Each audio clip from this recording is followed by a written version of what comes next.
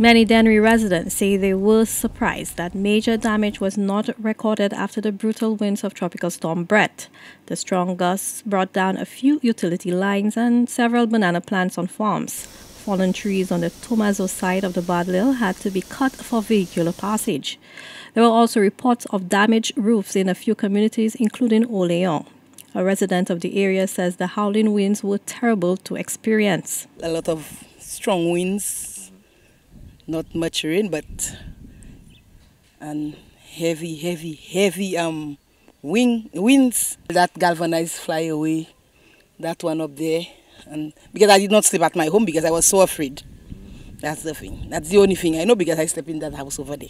This resident of Dennery Village, Angela Alberti, is counting her blessings after the metal covering of her home was stripped off very early into the night by Bret's strong winds. Around 9 o'clock, 9.34, um, when the, the wind was very strong.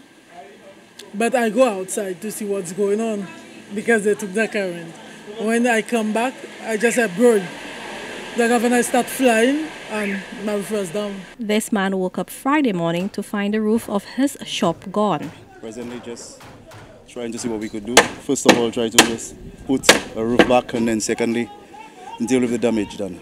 Another shop located mere meters away was brought flat down, says the owner. In the morning, neighbors and friends assisted him in putting the structure back up. Well, about, about 1, 1 a.m., I heard a banging noise.